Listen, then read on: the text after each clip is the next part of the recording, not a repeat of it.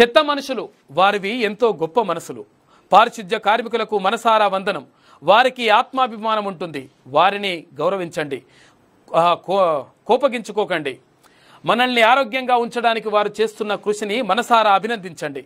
చెత్తవాడు అని పిలిచే మీ మనసులోని చెత్తను ముందు తొలగించుకోండి. నిజంగా అద్భుతమైనటువంటి కథనం. అసలు యాక్చువల్గా నిజంగా అంటే మనం అంటే ఇట్లా శుభ్ర అంటే ఎక్కడ కూడా పారిశుద్ధ కార్మికుల వల్లనే ఇక్కడ శుభ్రంగా ఉండగలుగుతున్నాం. తర్వాత మనం శుభ్రంగా అంటే ఆ రోడ్లపైన నడవగలుగుతున్నాం. ఇదంతా కూడా. ఎందుకనంటే చెత్త చెదారం వచ్చేసి తర్వాత ఇదంతా మొత్తం మురికి కూపం అయిపోతే మనము మనం జీవించడమే కష్టంగా ఉంటుంది. హైదరాబాద్లో రెండు రోజులు కనుక స్ట్రైక్ చేసింది అనుకో కథం. మొత్తం ఈ హైదరాబాద్ అంటాడు కదా డల్లాస్ లేకపోతే హైదరాబాద్ దేశంలో నెంబర్ వన్గా ఉంటది అద్భుతంగా ఉంటది. వీళ్ళు కనుక రెండు రోజులు పనే బంద్ పెట్టింది అనుకో హైదరాబాద్ ఎట్లుంటుందో ఒకసారి ఊహించుకోరు ఇక ఆదిలాబాద్ హైదరాబాద్ అదలాకుతలం అవుతుంది. మళ్ళీ మూసినది కంటే అధ్వానంగా అయిపోతుంది. అవుతుంది హైదరాబాద్ మహానగరం భారీ భాగ్యనగరం. సూర్యోదయమైన దగ్గర నుంచి ఉరుకులు పరుగుల జీవితాలు ఇక్కడ జీవన విధానం. కాంక్రీట్ రోడ్లు కరెన్సీ కట్టలకు విలువనిచ్చే మనుషులు. మానవత్వం మరిచిన విలువలు మలిచిన విలువలు ఇక్కడ ప్రతినిత్యం మన కండ్లకు దర్శనమిస్తాయి. ఎవరి పని వారిది? ఒకరి గురించి ఒకరు పట్టించుకునే నాదుడే కరువు. ఇక పొద్దున్నే పిల్లలు స్కూల్కు వెళ్ళాలంటే వాళ్ళకు ఎన్ అన్నీ సర్ది స్కూల్కు పంపించేదాకా తల్లిదండ్రులు ఉరుకుల పరుగులు.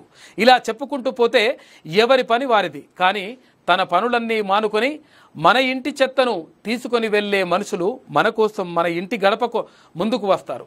మనం వేసే చెత్త వాళ్ళకి బువ్వ మెతుకు అవుతుంది. ఉదయం దగ్గర ఉదయం దగ్గర నుంచి సాయంత్రం దగ్గర వరకు వదిలేసిన అన్నం కూర పాచిపోయిన ఆహారపు వస్తువులు ఇలా ఎన్నో చెత్తను మనం మన ఇల్లే ఒక డంపుగా డంప్ అడ్డాగా మలుచుకుంటాం.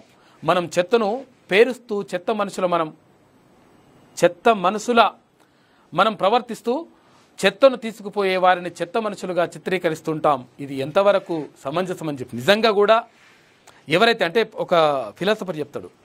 అంటే నువ్వు చేసే పని నువ్వు చేసే పనిలో చిత్తశుద్ధి ఉండాలి. ఎట్లా ఉండాలంటే అంటే ఆ పని?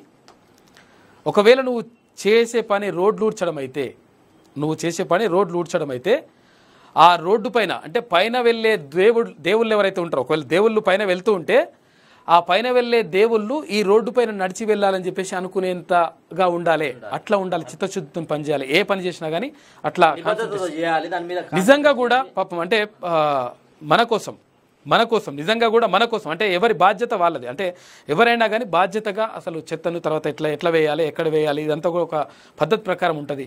అయితే ఇష్టం వచ్చినట్టుగా పారేసి ఏం చేసినా కానీ వాళ్ళు కష్టపడుతూ మన కోసం పనిచేసే పారిశుద్ధ్య కార్మికులు నిజంగా కూడా లేకపోతుంటే ఇక్కడ ఉన్నటువంటి మెయిన్ మెయిన్ సిటీలలో పరిస్థితి దారుణమైన దారుణంగా ఉంటుంది.